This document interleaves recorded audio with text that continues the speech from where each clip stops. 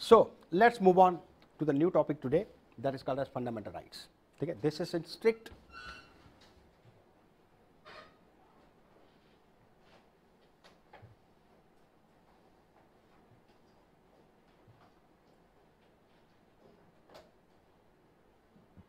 yes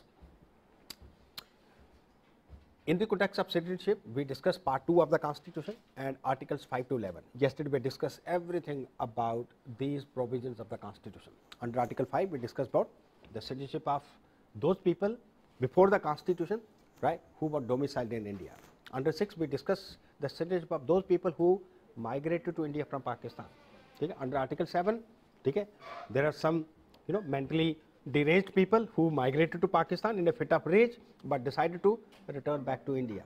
And Article 8, there were some people who were residing in different parts of the country at the time of commencement of the constitution, but they wanted to acquire Indian citizenship. And under Article 11, we concluded that Parliament is empowered by the constitution to make a law on citizenship, which it has enacted in 1955, right? And as amended from time to time, it provides for different provisions of citizenship, particularly, most importantly 2003 में क्या?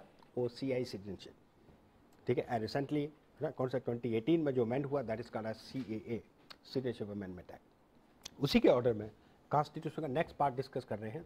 That is part three of the constitution and articles 12 to 35 पाँच से ग्यारह हो गया। ठीक है? तो आर्टिकल्स कौन से आ गए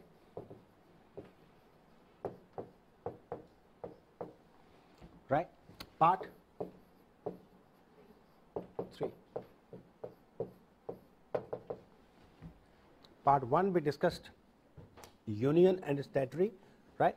Part 2 we discussed citizenship and part 3 is the fundamental rights. Most important, most important part, in fact, uh, constitution का सबसे बड़ा पार्ट जिसको heart and soul of Indian constitution it's a very conscious of the constitution as Nehru remark ठीक है, नेहरू जी ने कहा कि fundamental right जो चैप्टर है right it constitute the conscious of the constitution heart and soul आज article 32 को heart and soul कहा जाता है बट पूरा पार्ट ही ये एक हार्ट एंड सोल है, क्योंकि इसके बिना ना ही कॉन्स्टिट्यूशन कोई सिग्निफिकेंस है, ना ही कोई सिटीजनशिप की वैल्यू है, ठीक है, ना ही कोई ह्यूमैनिटी की वैल्यू है. क्योंकि अगर राइट्स नहीं है तो कौन से?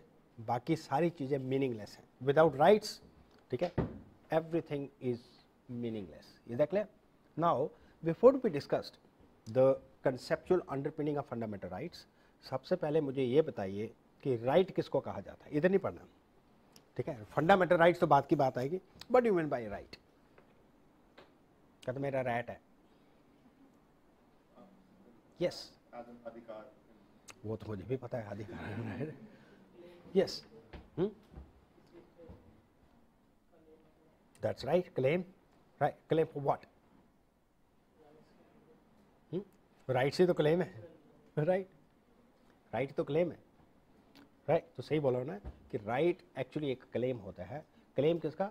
टू डू और नॉट टू डू समथिंग और to be treated in a particular way particular manner is a clear एक ऐसा क्लेम ठीक है? बट कौन सा क्लेम है ये? ठीक है? ये to be you know treated in a particular way या टू डू और नॉट टू डू समथिंग ठीक है? एक आपका राइट है। बट ये राइट उसी की बात कर रहे हैं which is enforceable by law ठीक है राइट उसी क्लेम को कहा जाता है because there are so many rights otherwise अगर वो इन्फोर्सिबल नहीं है तो उनको हम राइट्स नहीं कहा सकते।